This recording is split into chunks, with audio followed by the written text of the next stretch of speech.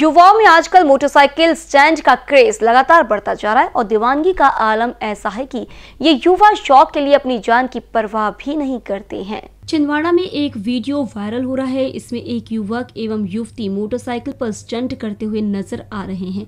Video में एक युवक, एक युवती का जोड़ा इमली खेड़ा अंडरपास पर मोटरसाइकिल स्टंट करता नज़र आ रहा है। यह वीडियो वैलेंटाइन डे का बताया जा रहा है। स्टंट करते समय युवक ने तो हेलमेट पहना था, लेकिन युवती ने हेलमेट भी नहीं पहना था।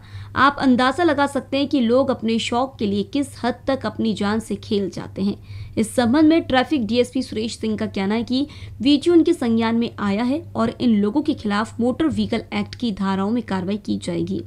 देखिए, ये संज्ञान में लाया गया है वीडियो और संभवतः ये चौदह तारीख का है चौदह फरवरी का और इमली खेड़ा अंडर बाईपास पे इस तरह का प्रदर्शन मोटरसाइकिल के साथ में स्टंट कुछ युवा और यु, युवतियाँ कर रहे हैं। और ये निश्चय रूप से निश्चित रूप से ये यातायात उल्लंघन नियमों का उल्लंघन तो है ही मोटर व्हीकल एक्ट का उल्लंघन तो है ही।